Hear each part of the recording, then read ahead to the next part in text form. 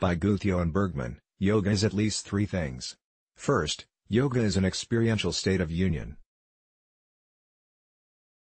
Second, yoga is a philosophy that explains the existence of that which does not change or that which is permanently present, aka, Atman, self, soul, spirit. Third, yoga is a family of practices, including postures, breathing patterns, relaxation, mental attitudes, and meditation techniques, meant to help the practitioner uncover the ever-present essence. These three categories partially explain how we ended up with different paths of yoga, but for a deeper explanation, we can look to ancient and exceptional insights into human nature, teachings based on natural tendencies the rishis, ancient Indian seers, created several paths towards enlightenment, i.e. becoming aware of that which does not change, that were supported by natural tendencies already present within human beings. They realized that three things, namely action, emotion, and intellect, were the main drivers of human activity. In their wisdom, they noticed that although people are influenced by all three, each person has a predominant mode of operation and can be categorized as mostly active, emotional or intellectual. The Rishi's primary objectives were to teach people how to uncover that which does not change and is permanently present for themselves but, and this is the pure genius of it, instead of trying to teach techniques in a way that they themselves like to learn in, the Rishis approached people where they were. That is how the four major paths of yoga were born. The Yoga of Action for Active Persons, the Rishis created the path of Karma Yoga, the path of non-attachment. Instead of focusing on the outcome, the Karma Yogi sees action as its own reward. By dwelling firmly in the present moment and detaching himself from the results of his actions, he uncovers the ever-present essence. The Yoga of Love for Emotional Persons, the Rishis created the path of Bhakti Yoga. Through prayers, chanting, and ceremonies, the practitioner is lifted out of emotions of darkness, anger, fear, and despair, into loftier emotions of love, empathy, and compassion. While dwelling in those altruistic emotions that which does not change and is permanently present can be uncovered. The Yoga of Intellectual Discernment for Rational Persons, the Rishis created the path of Jnana Yoga, where the intellect is used as a scalpel to remove illusions. The Jnana Yogi uses the mantra, Neti Neti, which means, not this not that, to identify everything that changes, thusly uncovering what is left, i.e. the unchanging or permanent nature of the self. It is an exclusionary method. By uncovering that which is not, you uncover what is. The body changes, neti neti, then it is not the self.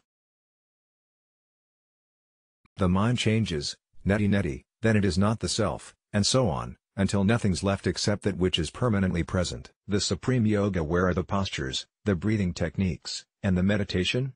You may ask. For all of that, we have the path of Raja Yoga. Raja means emperor or king, the highest form a human being could take in the days when yoga was born. That is why Raja Yoga means the highest or supreme yoga.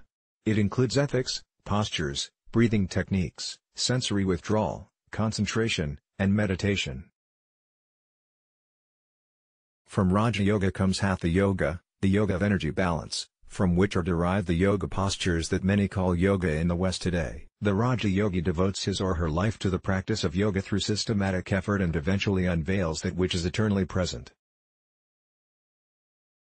The central objective of all paths unveiling that which does not change and is permanently present, as in Thou art that, Upanishads, is the central objective of yoga. In fact, you can measure whether or not something is yoga by asking a simple question, does the practice help the practitioner unveil that or is it covering it up? For example, without proper attitude, yoga postures can easily lead to a narcissistic attachment to the body. The body is constantly changing and an attachment to it does not help one reveal the underlying reality.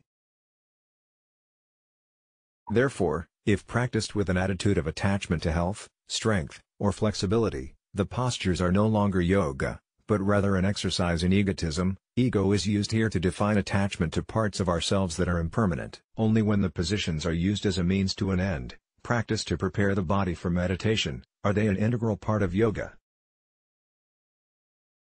As you can see, intention matters. When you are in doubt, apply the test. Ask, Does the practice help me or keep me from unveiling the ever-present essence? If your answer is that it helps, then it is yoga, if it hinders, then it is not yoga. Summary 3 of the four major paths of yoga are based on human psychology. Only one is a compilation of techniques.